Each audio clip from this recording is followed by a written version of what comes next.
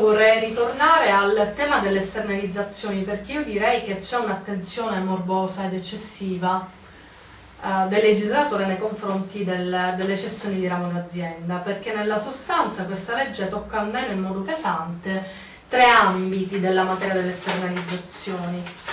Abbiamo visto il problema della clausola compromissoria, che in questo caso si è aperto un problema interpretativo che ha dei risvolti pesantissimi in termini di giustizia sociale poi dall'altra parte si estendono diciamo, queste modifiche dei termini di impugnazione e di decadenza anche, non soltanto ai trasferimenti, ma si dice specificatamente anche in materia di applicazione dell'articolo 2112, quindi in questo caso non possiamo più utilizzare 5 anni ma 270 giorni. E guardate bene che in materia di trasferimenti, così come sottolineato dall'avvocato Cirillo, andare a capire, immaginate in mezzo a collegamenti societari, gruppi societari, movimenti finanziari, continui trasferimenti, magari il tempo che sei stato trasferito già ti hanno trasferito in altre aziende e l'azienda precedente non esiste più, se è possibile presentare un ricorso dignitoso entro 270 giorni quando ancora tu manca hai capito dove loro vogliono arrivare, dove tutta questa gente vuole arrivare. E io credo che il legislatore queste cose le sappia, perché quantomeno una legge dovrebbe essere basata sulla conoscenza. Prima vedi come funziona quel mondo che tu stai tentando di deregolamentare piuttosto che regolamentare, e dopodiché fai le leggi.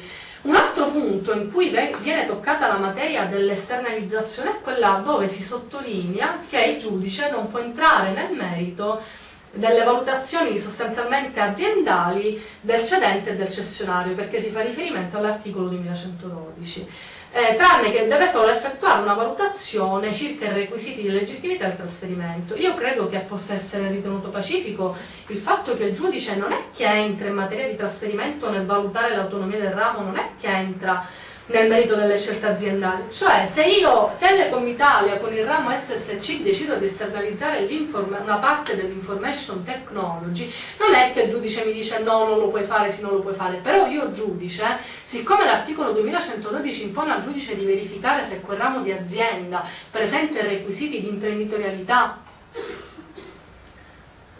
allora il giudice deve verificare quei requisiti di legittimità. Quindi perché fare una norma di questo tipo? Io credo che abbia più una valenza politica di creare una certa confusione in questa cosa. Quindi ricordiamo che i tre ambiti fondamentali in cui è toccata la materia delle esternalizzazioni sono per quanto riguarda la clausola compromissoria, per quanto riguarda la riduzione dei termini per la presentazione del ricorso a 270 giorni e per quanto riguarda in questo caso la possibilità del giudice di entrare nel merito di queste scelte.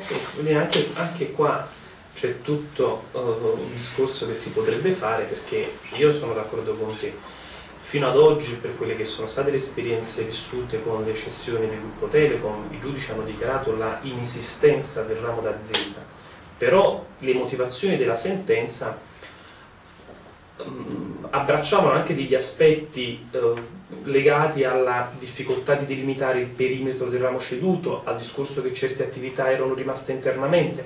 Allora, nel momento in cui tu metti questi paletti, condizioni comunque il ragionamento che il giudice può fare, perché potresti congetturare che la valutazione della scelta imprenditoriale di conservare certe attività non rientra nelle competenze del giudice.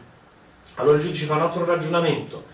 Dice, ma gli strumenti che tu hai ceduto non mi sembrano idonei a poter svolgere un'attività di impresa, secondo il concetto dell'autonomia funzionale del RAM. Allora uno potrebbe dire, ma tu non, devi, non, puoi, non puoi valutare se per le esigenze produttive sono supportate da questa... Allora, è ancora una volta un tentativo per condizionare sempre più e limitare sempre di più l'accertamento del giudice. Perché nel momento in cui tu oggi lo scrivi, il giudice, che ha un ruolo ovviamente molto delicato e importante, sarà probabilmente un po' condizionato nella stesura della sentenza e nella scelta delle motivazioni rispetto a prima. Quindi io non trascurerei questo aspetto invece perché secondo me è un ulteriore eh, come posso dire, warning, allarme che viene dato al magistrato nel momento in cui deve appunto motivare la sua decisione, onde evitare che la stessa possa essere poi in sede di appello oppure in sede di eh, legittimità dinanzi alla Corte di Cassazione riformata. Quindi sono tutti interventi che mi permetto di dire in un momento così delicato del nostro paese di crisi occupazionale mi sembrano diciamo, dei passaggi indietro e non avanti. Il termine dei 60 giorni di 270 giorni, io posso capire che in una caso di licenziamento oggi possa durare nel nostro paese, dipende dai tribunali, tre anni. Allora l'azienda che perde la causa è tenuta a pagare al lavoratore eh, tre anni di stipendio. Magari il lavoratore con un contratto a tempo determinato ha deciso di agire dopo due anni. Ora, non è che il lavoratore decide di agire dopo due anni.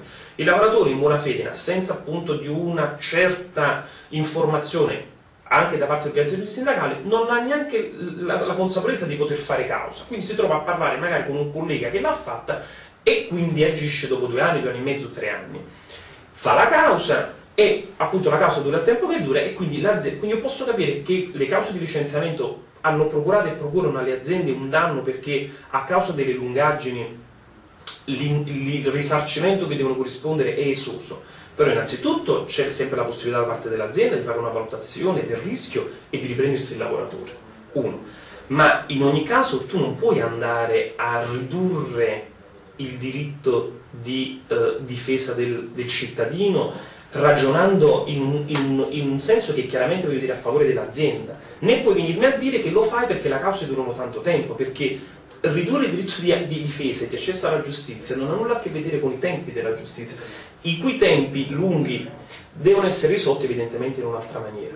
E chiudo, ma qua anche la legge politica, perché? Perché quando sono state fatte le cause per i contratti a tempo determinato, quando il lavoratore agiva dopo due o tre anni, il datore di lavoro cosa eccepiva? La acquiescenza tacita alla, alla, risoluzione del rapporto di lavoro. Cioè diceva, scusami, ma io ti ho licenziato tre anni fa, tu dopo tre anni mi vieni a fare causa. Eh sì, per, me, per me, tu hai dato eh, la risoluzione tacita al rapporto di lavoro, cosa che hanno fatto anche con le cessioni di ramo d'azienda.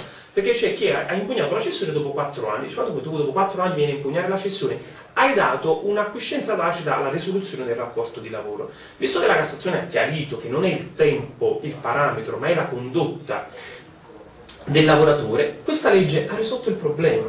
Perché in questo momento in poi tu, che sappia di poter agire, che non sappia di poter agire, se passano 270 giorni, o meglio, se passano 60 giorni dall'impugnativa e 270 giorni dal, dal, dal, dall'impugnativa stessa, non puoi più fare niente. Tra le altre cose, si applica ai contratti a tempo determinato anche scaduti, per cui un ragazzo che due anni e mezzo fa, lo stesso un anno fa, o otto mesi fa, è stato licenziato legittimamente dopo essere stato utilizzato magari per cinque anni con un contratto a termine, se eh, entro 60 giorni non invia una raccomandata, non potrà più fare causa e perderà la possibilità, probabilmente, di ottenere un contratto a tempo indeterminato. Quindi mi sembra che da qualsiasi punto di vista la guardiamo, anche voglio dire a girarla 3-4 volte, io trovo molti più aspetti negativi e preoccupanti e lesivi delle garanzie dei diritti che c'erano prima rispetto ai vantaggi che questa legge potenzialmente potrà avere.